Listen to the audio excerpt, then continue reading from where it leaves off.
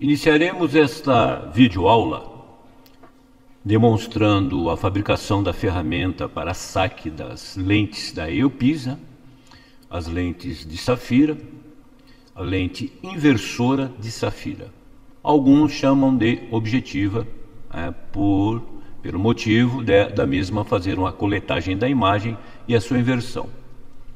Discordo um pouquinho porque a objetiva sempre fica na extremidade, quando é ao término, comumente chamada de EOPs, ou peça dos olhos, né? e em conjunto com a inversora. Aqui eu estou apresentando elas novamente para podermos iniciarmos tanto a fabricação, vou dar o exemplo, né? o primeiro exemplo de uma tentativa de elaboração do ferramental para saque das lentes, que não deu certo.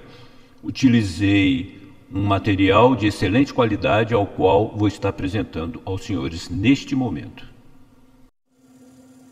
Bom, pessoal, mais um probleminha na EOPIS, ok? Mais um probleminha.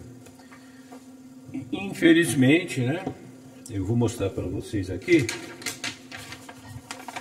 um pequeno desenho.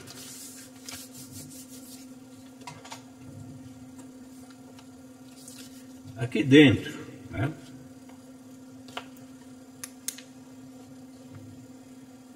ver se eu consigo.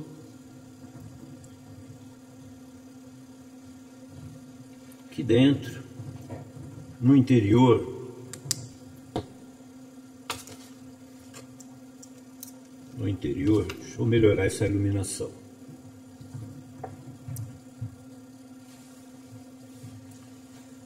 Olha pessoal, eu fiz a peça, né?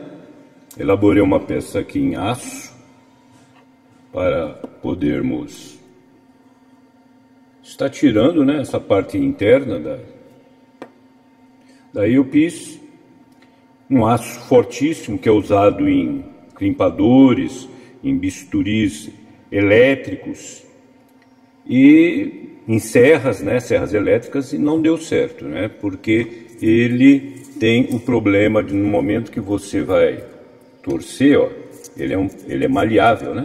Ele é maleável e ele, ele faz esse movimento, não vai.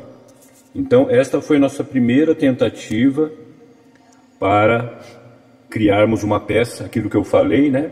Nós temos que sempre estar manufaturando peças e não deu certo. Então, nós vamos usar um outro tipo de material, um pouco mais extenso, vocês podem observar a diferença, né? Diferença de espessura.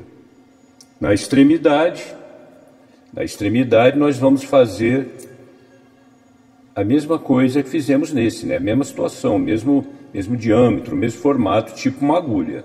Eu utilizei a morsa e também uma lima, uma lima fina, ok? Então vamos para a segunda tentativa para criarmos a ferramenta de abertura da EOPIS para saque das lentes na observação do funcionamento desta ótica, né, desse sistema óptico dentro da EUPIS.